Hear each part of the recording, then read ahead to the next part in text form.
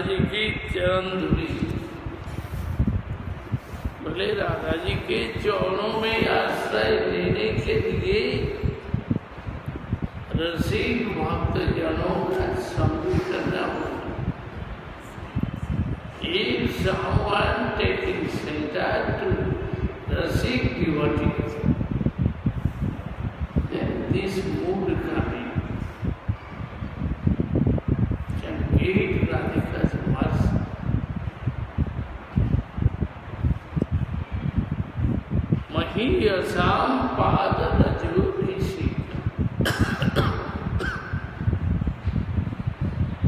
महान पुरुषों की पाद पद्म धूलि में अभिषेक होना होता है। यदि अभिषेक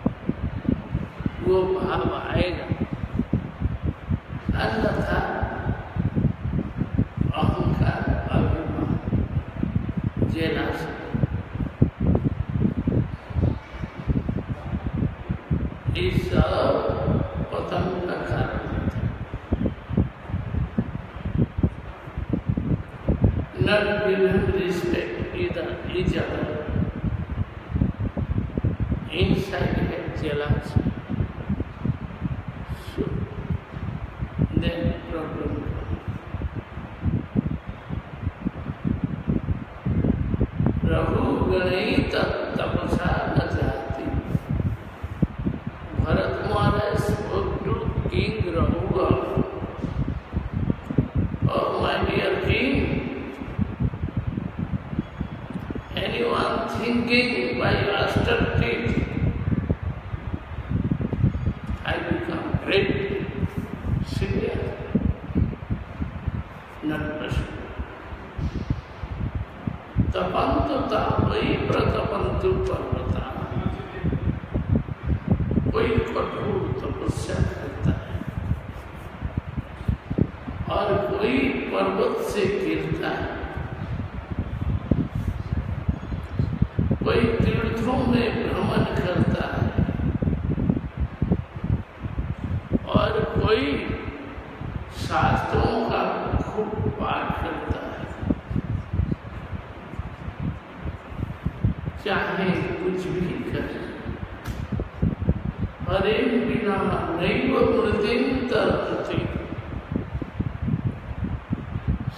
गुरु वैष्णव की सेवा के बिना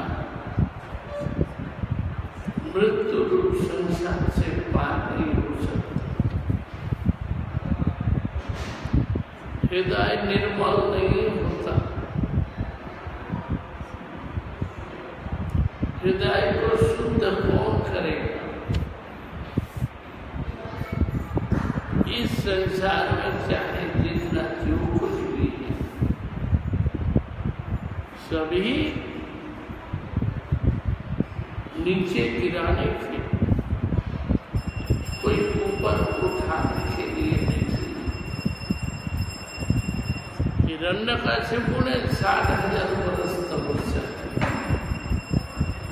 Ravan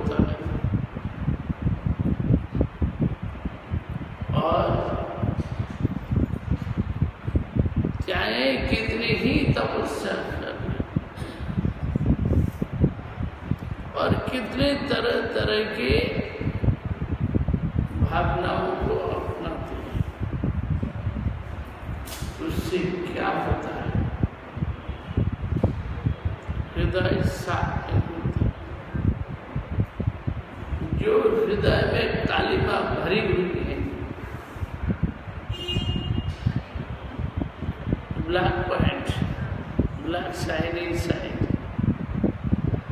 Uh, black mind, black things. Duplicity. So many bad things on earth.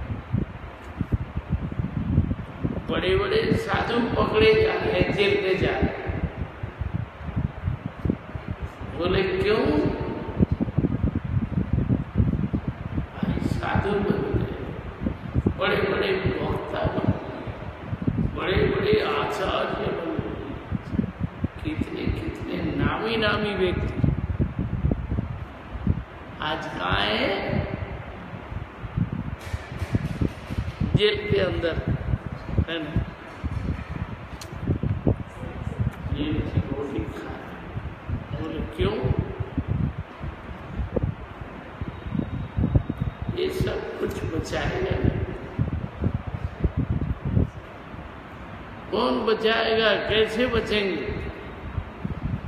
भक्ति में आगे बढ़ेंगे कैसे? गुरु जी के पास बड़े बड़े साधु लोग भी आया करते थे। गुरु जी उनका खूब सम्मान करते आदर करते थे। पर उनसे पूछा करते आप इतने बड़े व्यक्ति आपकी महानता के लिए धन्यवाद परंतु आपने गुरु की कितने दिन सेवा की तो और गुरु के आश्रम में कितने दिन रहा कितने सेवा की ये पूछते थे तो बड़े बड़े लोग उसी में फेल हो जाते इसी कर्मों के कारण बहुत बड़प्पन दिख जाए। परंतु ये बड़प्पन टिकता नहीं है गुरु सेवा के अभाव से। जिसने गुरु की सेवा की तो उनका हृदय बदला हुआ है। जीवन शुद्ध है। नहीं तो नहीं होता। इसलिए अपने जीवन को बदले, मार्ग को बदले खान पान सही करें। नहीं तो अहंकार अभिमान में व्यक्ति कहाँ से कहाँ पहुँच जाता है और कहाँ से कहाँ गिरता है। इसलिए गुरु सेवा कहने से कंट्रोल होता है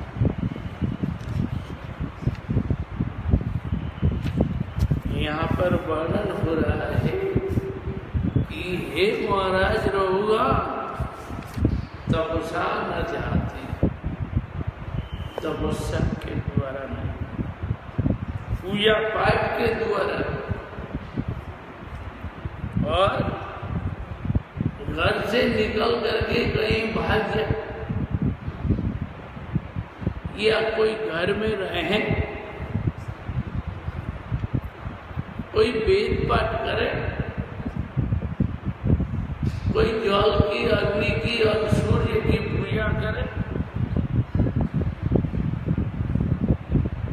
तो भी जब तक महान पुरुष के चरणों का धूल में आश्रय नहीं लेंगे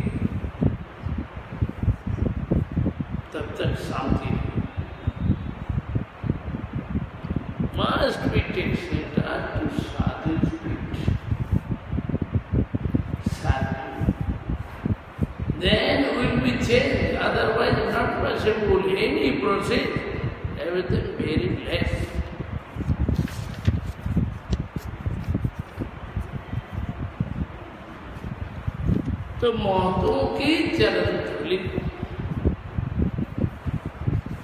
जीवन के मार्ग को बदलते नहीं तो होता ही नहीं है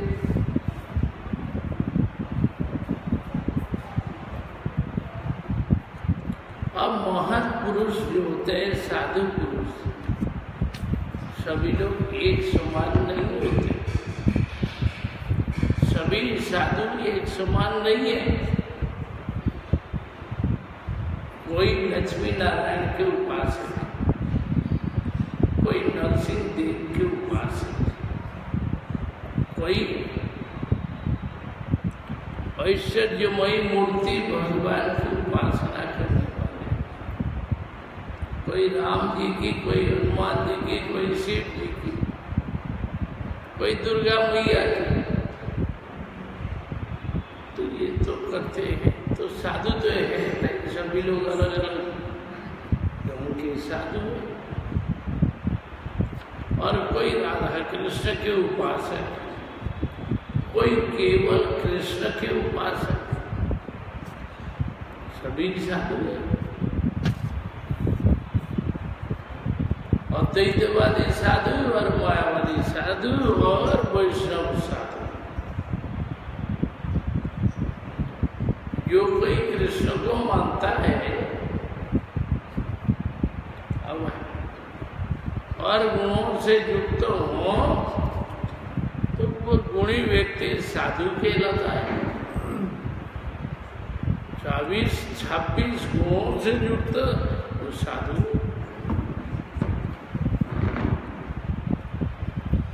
कृष्ण का भजन करता है, सब कुछ छोड़ छाड़ करके कृष्ण को मानता है। भजन करता बोले, साधु, बड़े साधु, उत्तम साधु।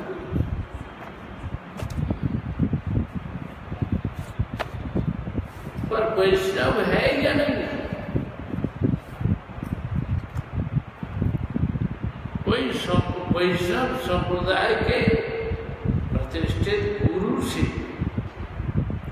मंत्र ले तब तो वैष्णव बनेगा।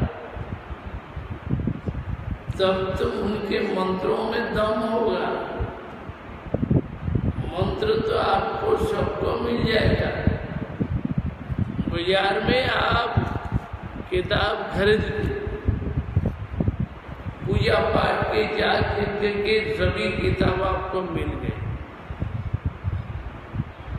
आपने देख देख करके पूजा पाठ करना सीख पूजन करना हवन करना आदि सारा सीख लिया। तो सीखने से होगा क्या? उसके लिए चाहिए साधना। साधना के द्वारा जिनको मंत्र की सिद्धि है, वही काम कर पाएगा बचपन में देखा था भाई एक सांप, एक महिला को सांप काट दिया तो हम भी थोड़े दुखी हुए। वहाँ आ गए थे रसोई बनाने को, परंतु काट दिया इसलिए अब रसोई आदि बंद हो गया। वहाँ हम बैठे रहे उसके पास। ग्यारह बजे तक एक झाड़ वाला व्यक्ति आया। तो उसने मंत्र पढ़ा, एक पौड़ी फेंक दी सांप को पकड़ करके लाया। सांप आ गया वहाँ, और उसने सांप नहीं मुँह लगाया। बोले, बीस निकालो। तुमने काट दिया, तुमने, तुम बीस निकालो। सांप को फेंकता है और वो सांप मुँह लगा करके से बीस को खींच खींच करके सबके सब हज़ारों व्यक्ति खड़े, सबके सामने उसने थूक दिया निकाल दिया तीन बार में ये काम कर दिया। बोले, हो गया तुम्हारा काम, चलो। हड़िया में उसको भर दिया, ढक्कन लगा दिया। फिर थोड़ा सा नीम पत्ता से ऐसे झाड़ दिया, हाथ से उठा के बोले, हो उसे थोड़ा ग्लूकोज पिला दिया, दूध पिलाया, फिर से दोपहर को हम लोगों ने रसोई थोड़ा सा बनाया, फिर शाम को भंडारा हुआ कीर्तन तो देखा कि भाई, एक व्यक्ति उसको सिद्धि है मंत्र तब उसने उसको कर पाया। जिसको कोई जानकारी नहीं, केवल डिग हाँकता है, दम भरता है। कुछ उल्टे सीधे बात कह देता है और करता है। उससे रोग खत्म हो जाता है, मर जाता है। इसलिए उनके पास कोई शक्ति नहीं है, कोई साधना नहीं है, कोई दम नहीं है तो क्या करेगा तो ये सब गड़बड़ी है। बोले पहले जमाने में लड़ाई होती थी। पहले जमाने में जो लड़ाई हुई, रामायण में, महाभारत में, क्या दिखा रहे बड़े बड़े हथियारों को छोड़ दिया। शक्तिवान बड़े बड़े बाणों को छोड़ा। अरे मार को छोड़ दी तो बाण आ करके लगता है फिर मार के जाता कोई बाण आता है, गिर जाता है, ठोकर लग करके गिरता चला जाता है। कुछ नहीं होता। और उनके वाहन क्या थे? ये सब जगह गाड़ी में देखते हैं, खाटू श्याम है ना? श्याम बाबा। लोग खूब उनकी पूजा करते हैं बोले ये खाटू श्याम कौन है? बरबरी। तो बरबरी कहता है, मैं अकेला लड़ाई कर दूँगा, सारा सब खत्म हो जाएगा। कैसे करोगे देखा? एक घास ले करके फूक करके छोड़ दिया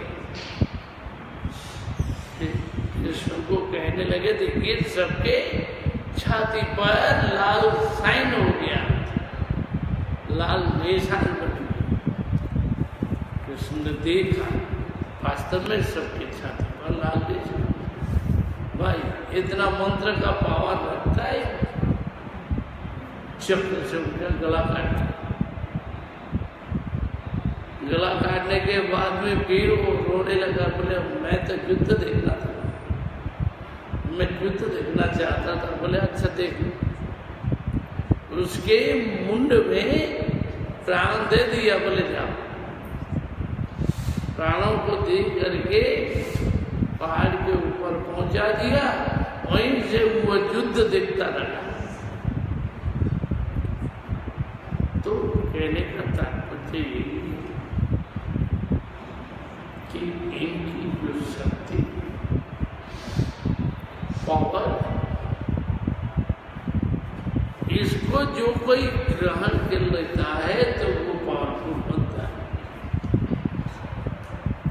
नहीं तो कोई काम का नहीं बनता आजकल लोगों में इतनी शक्ति कहाँ चली गई? साधना नहीं है, शुद्धाचार नहीं है, पवित्रता नहीं है। तो ये सब के अभाव से उनका काम नहीं बनता। मंत्रों में शक्ति नहीं इसलिए केवल किताब पढ़ करके या कोई मंत्रों को जान कर जब करने से काम नहीं बनेगा। गुरु से शक्ति पावर तब उसमें काम बनता है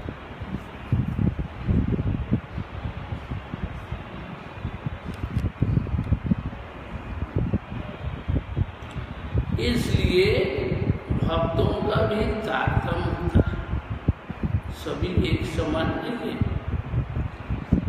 जो जैसे हैं वैसे कृपा करें श्रीजीव गोस्वामी पाद ने भक्ति संदर्भों में कहा प्रेम के तारतम्य से भक्तों का भी तारतम्य होता है जिसका जितना महान प्रेम है, वो भक्त उतना ही बड़ा है।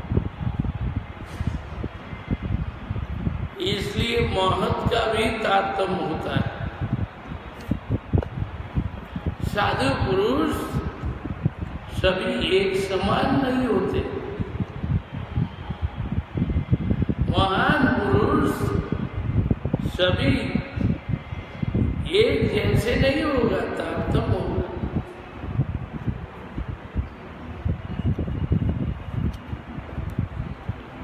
इसलिए मौतों का तारतम निर्णय करना भी एक बड़ा काम होता है। जैसे भाई कौन से बड़े साधु हैं? आ गए घर में। चालीस, पचास साधु, सौ साधु आ गए। भोजन कराना, उनको माला पहनाना, फिर दान दक्षिणा इत्यादि जो कुछ करना चाहते हैं, करते हैं। और इनमें कौन सा साधु बड़ा है, कौन सा छोटा भाई, जो बड़े बड़े महाराज हैं, वो दुबले पतले और वहाँ पर बड़े बड़े मोटे मोटे मस्तान साधु भी आ हाँ? भाई, लोग किसका पहले पूजा करेगा? जो मोटे मोटे साधु हैं, उनको देख करके आदर करेगा पूजा करेगा भाई यही बड़ा साधु है।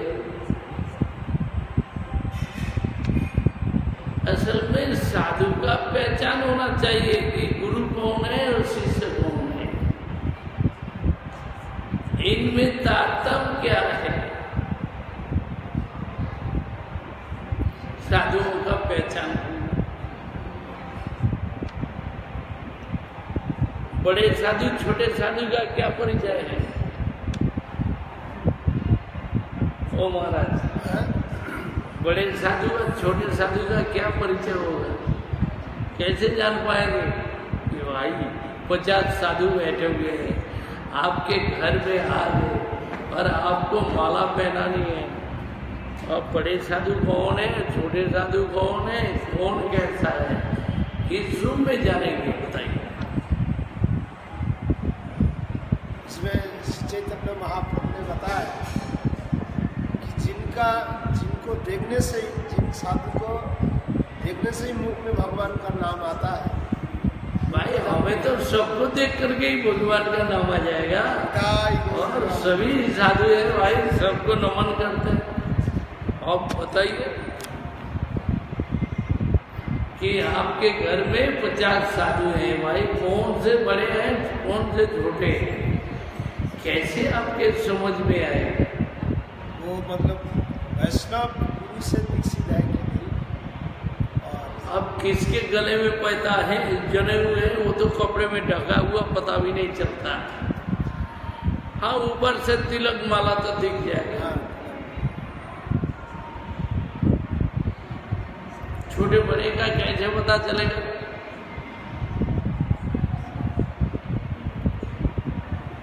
जो साधु बात बात में बिगड़ता है है ना? बात बात में बिगड़ता है। बोले, अभी कच्चा है, नीचे। है ना? जो साधु कभी बिगड़ते नहीं, दिमाग ठंडा रहता है ठंडा है बोले वो बड़ा साधु है है ना और कोई व्यक्ति बात बात में बिगड़ जाता है। थोड़ा सा कुछ टोका लगा दीजिए, कुछ बोल दीजिए बोल दीजिए, कुछ कह दीजिए, बस हो गया कम छुट्टी अभी बिगड़ना शुरू हो जाएगा तीन को ताल बना के छोड़े। पुरुष हो, चाहे महिला है ना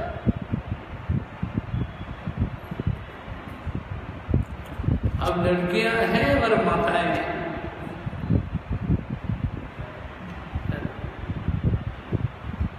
भाई, क्या अंतर होता है? माताओं को कुछ भी कहो, बच्चे कितना उदम मचाए धमाधम उनके गोदी में चढ़ रहे हैं उदम मचा रहे माँ बिगड़ती है। लड़कियाँ बात बात में बिगड़ती है तो क्या है पतली तवा छोटी छोटी बातों को ले करके बिगड़ जाते काम नहीं बनता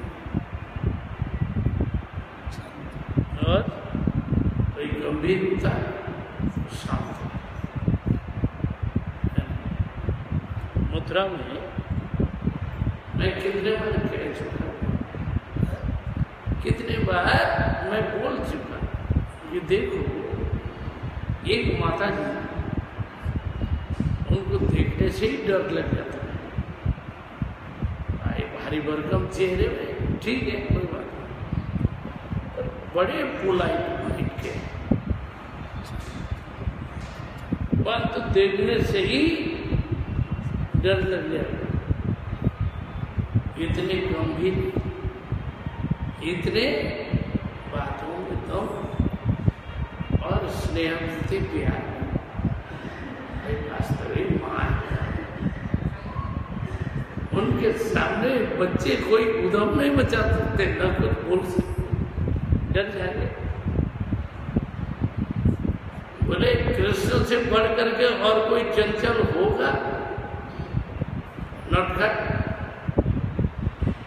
रोहिणी माँ संभाल नहीं पाती। यशोदा मैया जब आती है, आने के साथ साथ कृष्ण की चंचलता भी स्थिर हो जाती चुप खड़े हो जाए। माँ जो कुछ कहेंगे, वही सुनना पड़ेगा करना। तो ये क्या होता है कि मातृत्व गुण होता है। माताओं का गुण तो राधा जी के सामने कृष्ण की कुछ चलती ही नहीं चार भुजा दिखा दिया, जब राधा जी आ गई अपने आप उनके दो हाथ छिप रख नहीं पाए। उनके सामने दिखाना संभव नहीं। ऐसे बड़े साधु का पहचान ठंडा दिमाग। दिमाग ठंडा रहेगा, बिगड़ेगा नहीं। और मोटे मोटे साधु, लंबे चौड़े शरीर वाले बात बात में बिगड़ जाएँगे। तो बोले कि अभी कच्चा साधु है ना? तो इसलिए कहते हैं बड़े साधुओं में प्रेम है, भाव है, भक्ति है, उसमें खोयो की परंतु जानबूझ करके कोई यदि कोई अपराध करे तो गड़बड़ हो सर्वनाश इसलिए कोई अपराध नहीं करे तो प्रेम के तारतम्य से भक्तों का भी तारतम्य होता है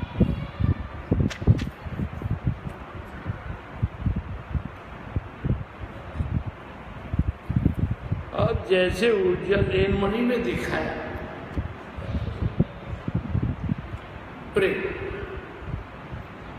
किसी में अल्प मात्रा में, किसी में अधिक मात्रा में, और किसी में और अधिक मात्रा में।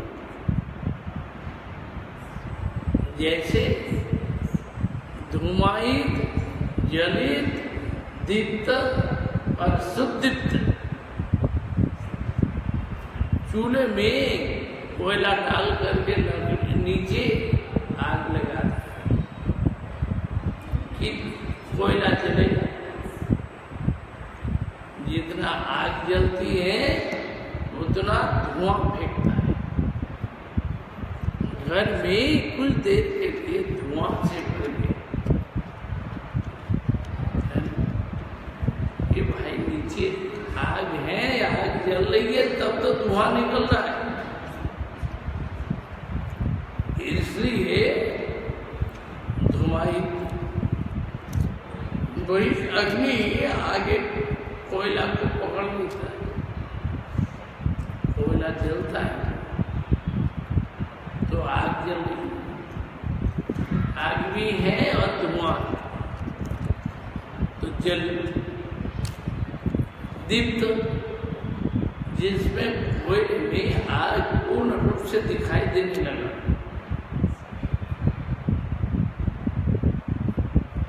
थोड़ा बहुत धुआँ आता है नहीं तो पूरा आग ही आग और वो कोयला जल करके जब स्टीम बन जाता है तो सुदीप्त ऐसे ही अग्नि जो है धुमाई जलित दीप्त और सुदीप्त चार प्रकार से भक्तों में प्रेम भी थोड़ा थोड़ा है अभी हल्के रूप में कोई कोई प्रगाढ़ ममता हो जाए तो प्रेम और बढ़ जाता है इसलिए प्रेम का भी तारतम्य कोई भी के प्रेम का प्रेम की बराबरी या समानता नहीं कर सकते। उनका प्रेम तो महान प्रेम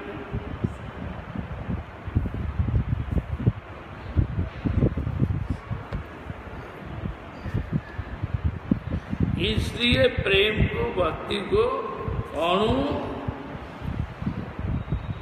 परम महान महान और अपेक्षा से अधिक।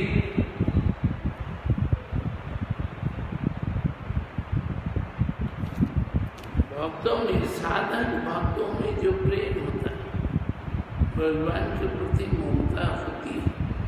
पर इतनी ममता थोड़ी है, थोड़ी सी। और प्रेम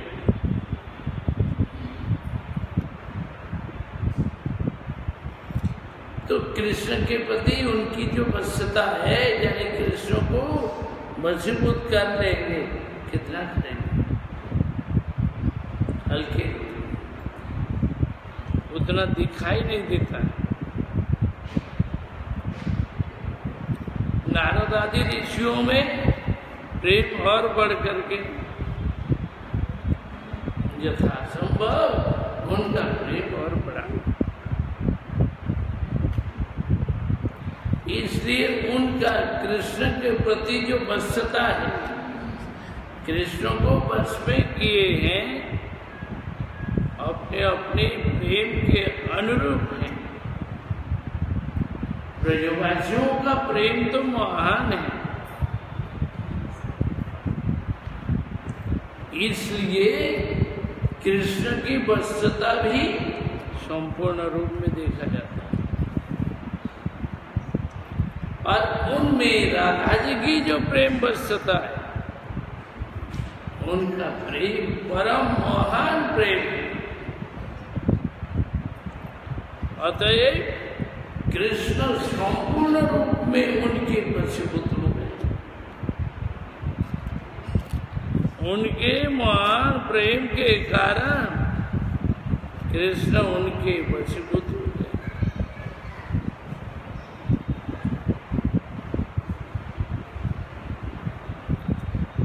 राधा जी में प्रेम है। परंतु राधा जी के चरण रेणु में इतनी कृष्ण भस्ता की शक्ति है जो कि वह परम महान है। इसलिए राधिका चरण रेणु मनुस्मरा राधा जी की चरण धुली की हम प्रार्थना करते हैं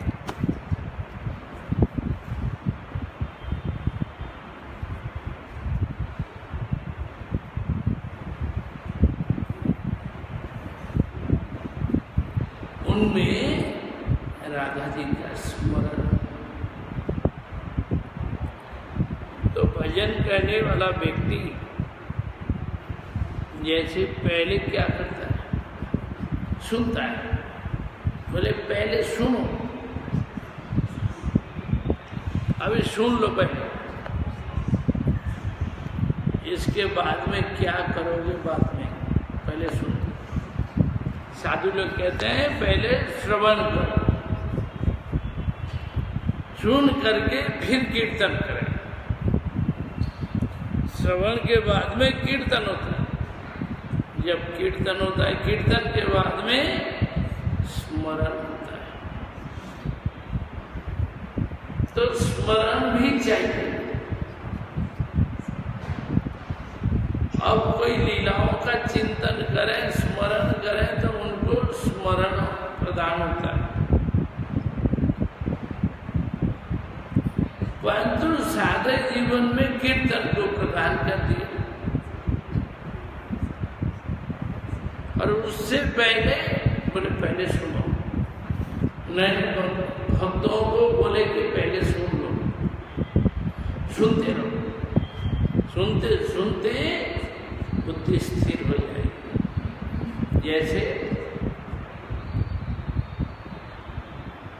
गुरु को संदेह क्या यही श्री राम भगवान है नाग पास में बाँध दिया सांपों से घेर दिया वे अपने को बचा नहीं पाए विष्णु होकर के हमारी प्रतीक्षा करते रहे हमारी अपेक्षा इसलिए उन्होंने नागपास को ग्रहण कर लिया जब गरुड़ आए उनके हवा के स्पर्श से दूर से देखते ही जितने सांप सांप है सब भागे छिप गरुड़ को देखकर। गरुड़ को देखते ही सांप भाग गए। और राम लक्ष्मण दोनों सांपों से घेर करके पड़े नागपत बड़ी संकट की स्थिति। तो क्या ये विष्णु है या साधारण मानव? ये उनके मन में शंका बने। इस शंका का निराकरण करने के लिए पहुँचे ब्रह्मा जी के पास। उन्होंने मना कर दिया। शिव जी के पास में गए, उन्होंने भी मना कर दिया, बोले, हमसे नहीं होगा। किसके पास जाए खत जाने खत की भाषा। इसलिए गरुड़ तुम जाओ काकभूषण जी के पास।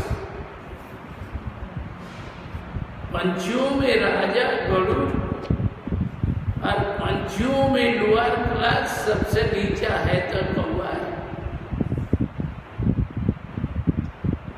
गाली का बच्चा तिरस्कार, अपमान सब कुछ कौ को मिलता है। और कौ के राजा काकभूषण ने बैठा हुआ है। राम कथा सुना अब पंछियों के राजा गरुड़ आ गया। सबके पीछे बैठ करके राम कथा सुन सुनते सुनते शीत हिला रहा है हाँ ये बात सच है कि राम ये कोई ऑर्डिनरी बालक नहीं है। कोई साधारण व्यक्ति नहीं। फिर भी लीला के लिए ऐसे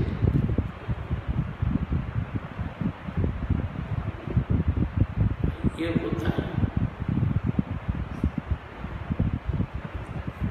तो देख करके तब उनका संदेह दूर हुआ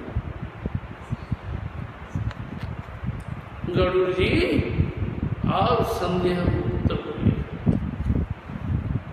तो ऐसे जीवन में संशय संदेह डाउट सबको आता है। लोग एक दूसरों से गड़बड़ी करते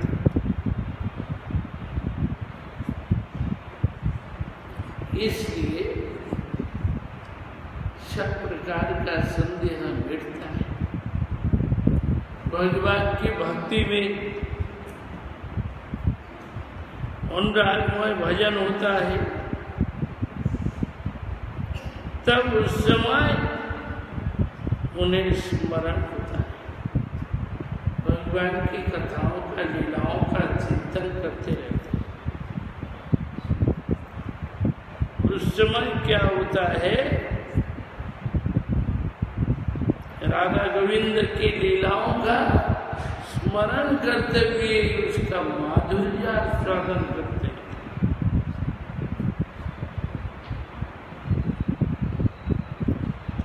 इसलिए भगवान का माधुर्य आस्वादन करना ही साधना का मेन उद्देश्य है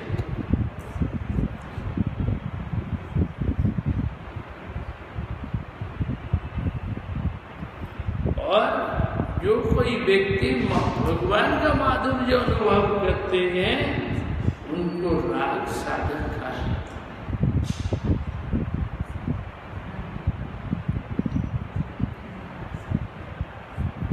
इसलिए गौड़ीय वैष्णव बाह्य देह अर्थात इस शरीर से। भगवान का श्रवण, कीर्तन आदि भजन करते और अंतर हृदय से भगवान की लीलाओं का स्मरण करते हैं, चिंतन करते हैं। इसलिए साधन जो है दो प्रकार के होते हैं ऊपर एक देह से। और ये अंदर हृदय से। साधक शरीर में श्रवण, कीर्तन, भजन, पूजा पाठ जितना संभव होता है, उतना करते हैं। और सिद्ध देह में मनी मन अपने को वैसे चिंतन करते हैं। ब्रज में राधा गोविंद की सेवा करते हैं श्री चैतन्य महाप्रभु जी ने इसी भाव को दिखाया कि भजन दो तरह से हो। ऊपर शरीर से, अंदर हृदय में चिंतन से। दोनों प्रकार की भावना लानी पड़ेगी। और उनके साथ संबंध को स्थिर कर दिया तब ये भजन। भक्ति में आगे बढ़ जाएँगे। अन्यथा भौतिक चिंता में डूबे रहेंगे। तो भौतिकता ही आएगी। इसलिए व्यक्ति दोनों तरह से बोले, एक ऊपर से भगवान का भजन पूजा पाठ कीर्तन इत्यादि कर रहे हैं। और अंदर ही अंदर इसका चिंतन कर रहे हैं। तब उनका भजन फिर कल बताएँगे, आज यही पर रखते हैं। ठीक है? गौर